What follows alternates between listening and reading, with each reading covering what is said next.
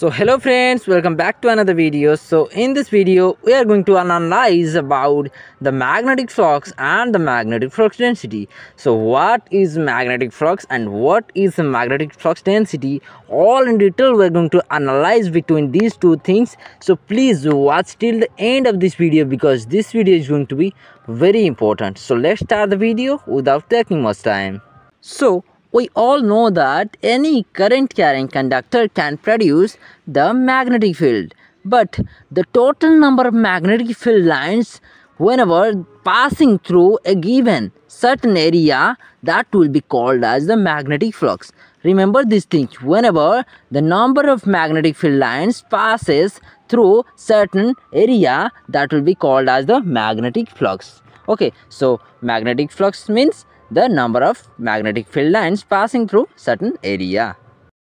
So now let's talk about the magnetic flux density. So magnetic flux density is nothing but magnetic flux passing per unit area that will be called as the magnetic flux density in a certain area whenever the flux passing that will be called as the magnetic flux density so magnetic flux density is generally denoted as B and that will be equal to flux per unit area that is phi per area. Okay, so this is the magnetic flux density formula and the denotation. So always remember one thing that the magnetic flux density is always directly proportional to the magnetic field lines.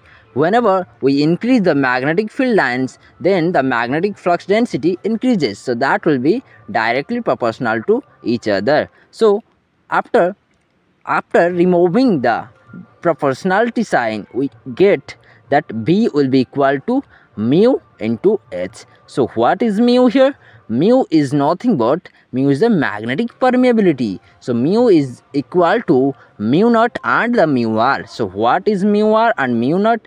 Mu naught is nothing but magnetic permeability in free space.